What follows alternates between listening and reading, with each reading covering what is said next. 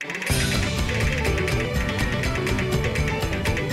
まらない日常にあなたは笑って日を描いたこんな違う僕ら出会うはずもないはずもなかったさ。泣かないでいて秘密の約束消えない傷跡守りたいと言ってしまえたらきっと楽になるけれどどうしようもないほどにもう引き裂かれ。る口づけダイヤモンドあなたの